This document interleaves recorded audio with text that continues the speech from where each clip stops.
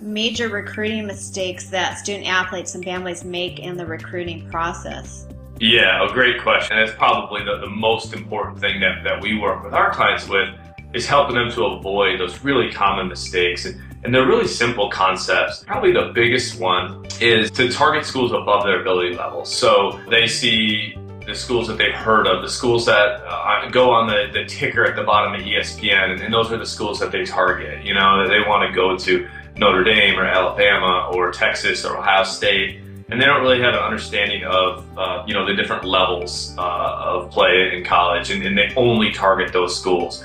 That's a, a major uh, mistake that they make. Uh, probably just as common of a mistake is that they only target a couple schools. You know, they'll target two schools, and then they'll have maybe a third school to look at a little bit.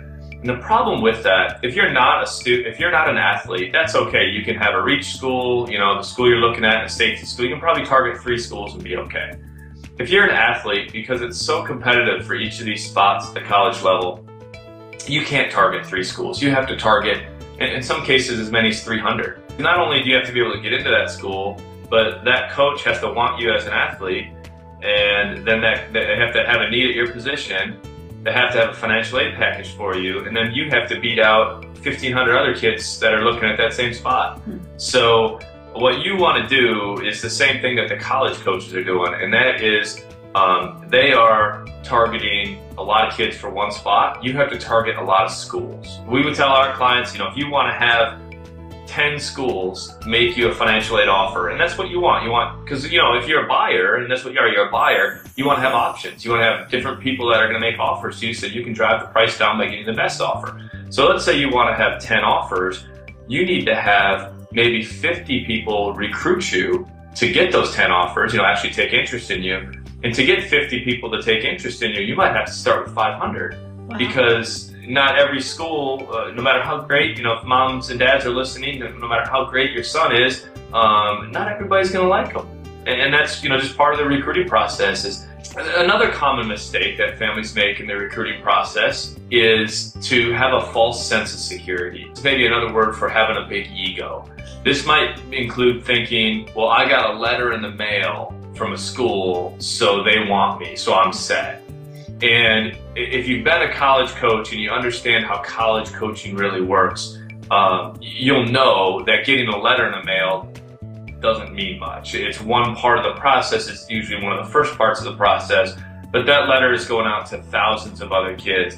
Um, maybe that means that they want you to come to their camp and they just want some camp money from you. Maybe that means they just want to gather some information. They want to get your video so that they can watch it. Um, maybe they're a, a, school with a JV program, a, a tuition-driven school, and they just want your enrollment dollars. Um, true story. I got a uh, I got a 60-pound boxer, and that you know that 60-pound boxer gets letters in the mail from college coaches because we have her in our distribution database, and she'll get letters. Hey Hadley, we uh, we really we really like you as a prospect for our program. We want to take a look at you this summer. You know, please come to our camp. You know, it's $575. So Wow. Obviously, that letter, you know, it's great. Getting letters is better than not getting letters. It, you know, it's better than um, n- nobody know who you are to begin with. You know, at least they have your email address, at least they have your mailing address. You're getting the letter, but it doesn't mean they're making you a scholarship offer. Uh, there's just there's a lot of uh, area in between that. Other things that athletes do and families do that are they're kind of big mistakes.